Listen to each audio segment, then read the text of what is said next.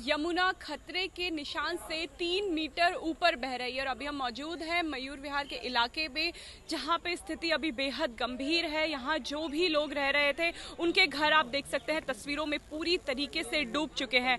हालाँकि कल रात को यहाँ रह रहे लोगों को पानी बढ़ने की वजह से राहत शिविर में शिफ्ट कर दिया गया, यहाँ से हटा दिया गया। लेकिन जो इनके गाय, भैंस, जो मवेशी ये पाल रहे थे, उनको छोड़ के उन्हें रात को आना पड़ा। लेकिन अब सुबह जैसे ही हुई तो ये अपने जानवरों को लेने यहाँ पे लोग आ गए हैं। हालाँकि प्रशासन की तरफ़ से यहाँ पे कोई मदद नहीं की जा रही है, लेकिन जो लोग हैं, जो लोकल लोग हैं, वो, जो पड़ोसी थे, वो एक दूसरे की मदद करके अपने जानवर जो है, वो यहाँ पे निकाल रहे हैं। अगर आप तस्वीरें देखें पूरे मयूर विहार की तो पूरे मयूर विहार की जो सड़कें हैं, वो राहत शिविर में बदल दी गई हैं, जहाँ पे जो लोग रह रहे थे, अपने घरों को छोड़ के कैंपों में रहने के लिए मजबूर हो गए हैं। स्थिति इस समय दिल्ली की बेहद गंभीर हो गई है।